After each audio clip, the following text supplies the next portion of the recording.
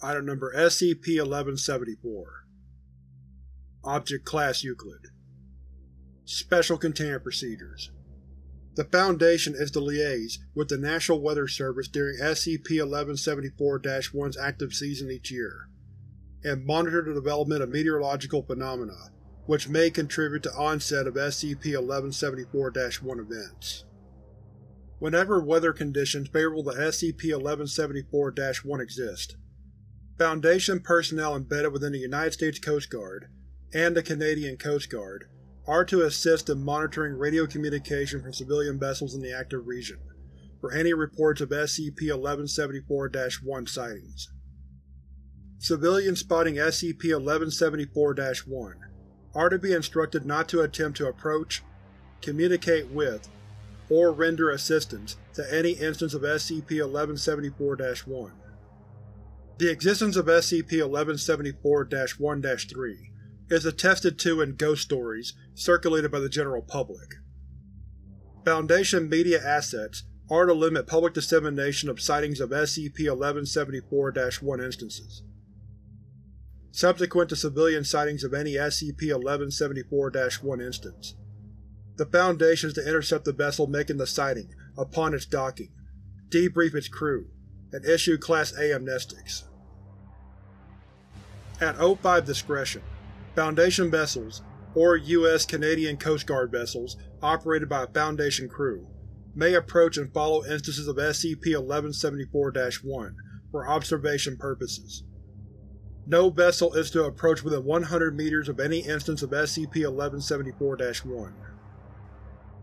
Following any shipwreck under conditions resembling an SCP-1174-1 incident, the Foundation is to locate the wreckage as soon as possible, and retrieve any instances of SCP-1174-2 found in the vicinity, where containment or termination is necessary.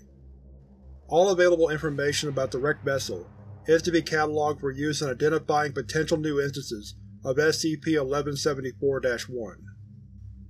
The Foundation is to monitor emergency calls and social networking for any indications of civilian encounters with SCP-1174-2. Any person reporting an SCP-1174-2 sighting is to be detained, debriefed, and treated with Class B amnestics. Any dead SCP-1174-2 instances found afloat or washing ashore are to be acquired by the Foundation and destroyed as soon as possible. Authorization is granted to employ Emergency Procedure 248 October Bravo in the case of an information leak regarding SCP-1174-2. Captured instances of SCP-1174-2 are to be housed in modified containment cells, filled halfway with fresh water at a temperature of 2 degrees Celsius, and fed standard containee rations twice per day. Instances of SCP-1174-2 capable of communication may be granted euthanasia at their request, following a full debriefing. Description: SCP-1174 is a localized phenomenon occurring within Lake Superior, along the border between the United States and Canada, consisting of visual hallucinations of ships appearing during periods of inclement weather. Designated SCP-1174-1, and an unknown number of anomalous human beings associated with ships sinking after encountering SCP-1174-1, designated SCP-1174-2. Instances of SCP-1174-1 are capable of manifesting between October 1st and November 30th of each year. Most manifestations of SCP-1174-1 have occurred during November witch cyclone conditions, producing rain or snow and wind in excess of 95 km per hour. However, SCP-1174-1 can manifest at any time during the active season, when cloud cover and high winds are present. Instances of SCP-1174-1 are capable of movement at rates commensurate to that of the ship it resembles, and will appear and travel at no discernible heading along Lake Superior until such a time as weather conditions improve, whereupon SCP-1174-1 will vanish. In no case has any instance of SCP-1174-1 appeared in, or traveled to, any area less than approximately 5 km from the American or Canadian mainland. There are currently seven known instances of SCP-1174-1. Five of the seven have been conclusively identified as resembling vessels known to have been sunk in Lake Superior during SCP-1174-1's active season. SCP-1174-1-1 A fully rigged wooden warship of late 18th century construction, approximately 45 meters in length, flying the naval ensign of the United Kingdom, identity unknown. SCP-1174-1-2 A wooden schooner of mid-19th century construction, approximately 60 meters in length, identified as Lucerne, an ore carrier sunk in 1886. SCP SCP-1174-1-3 A wooden steamship of late 19th century construction, approximately 75 meters in length, identified as the Bannockburn, a freighter sunk in 1902.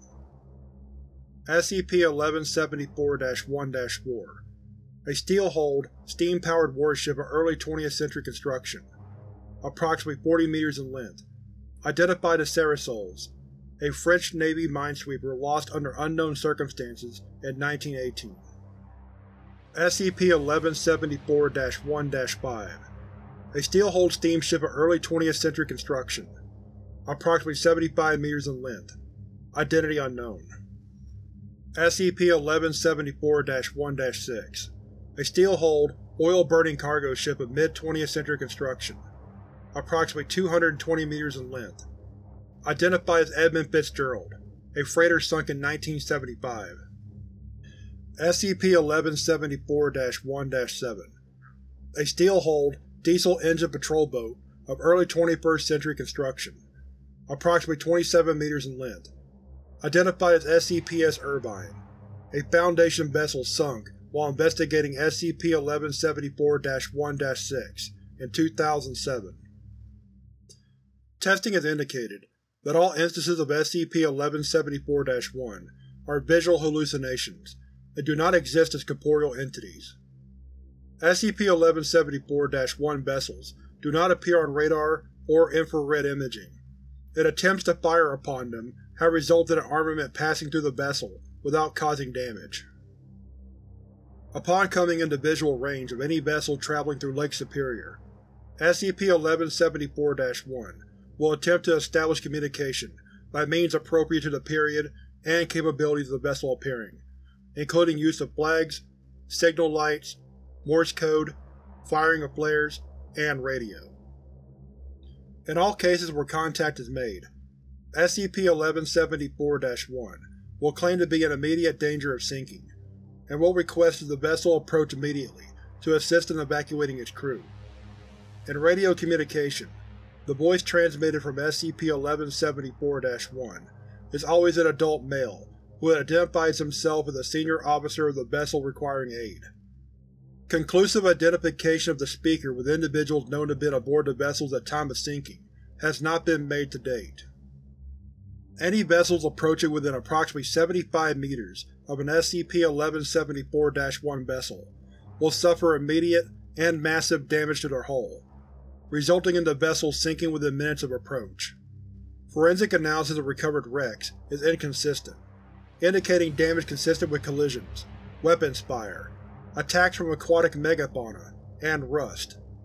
In one instance, a vessel approaching SCP-1174-1-2 appears to have spontaneously capsized without suffering any other damage to its hull.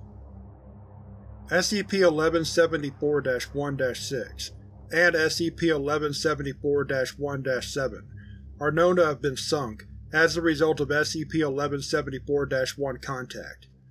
It is unknown whether the other instances of SCP-1174-1 sunk due to contact as well, or what form SCP-1174-1 phenomena may have taken prior to the appearance of SCP-1174-1-1. SCP-1174-2 are human beings present aboard vessels sunk as a result of contact with SCP-1174-1.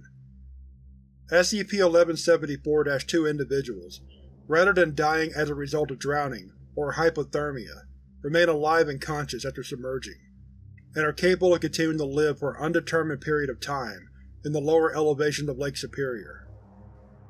Aside from tissue necrosis as the result of long-term exposure to water, SCP-1174-2 specimens displayed no unusual health problems as long as they remained submerged at a temperature of 1 to 5 degrees Celsius, and continued to show signs of age at a normal rate. SCP-1174-2 individuals removed from the water or placed in a warmer environment will display symptoms of shock and or heat stroke, and typically die within one hour, if not returned to cold water. SCP-1174-2 individuals in the wild often subsist on fish and aquatic flora, while some have been noted to attack divers or each other. This behavior appears to be rare and discouraged by the community. SCP-1174-2 individuals typically live in communities at or near the site of their shipwreck, and continue to possess full recollection of their lives prior to sinking. Most SCP-1174-2 individuals, unless suffering vocal cord damage as a result of their environment, retain the ability to speak and are capable of understanding each other while submerged. In interviews, captured SCP-1174-2 specimens have denied any explanation or knowledge of why or how they exist in their current state. There does not appear to be an upper limit on the length of time an SCP-1174-2 individual can remain alive in the absence of disease or natural hazards. The oldest known individual in captivity is a former crewman of the vessel DNC, currently 87 years of age, who became an instance of SCP-1174-2 upon that vessel sinking in 1957. The Foundation began formal study and containment of SCP-1174 in 1975, after investigating several claimed sightings of the Edmund Fitzgerald following its sinking in early November. Several former crew members of the vessel were discovered living in its wreck upon the first formal exploration thereof in May of the following year, and were taken into Foundation custody.